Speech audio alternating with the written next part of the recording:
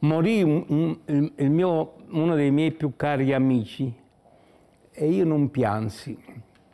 E dico, ma come mai una cosa così terribile non mi fa piangere? E ho pensato, sai perché?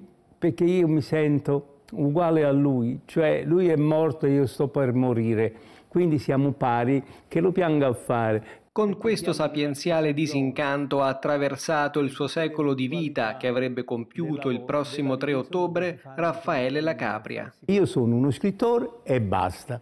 Poi sono napoletano, ma dopo Premio Strega nel 1961 conferito a morte, suo secondo romanzo, e poi il Campiello, il Viareggio, il Grinzane Cavour.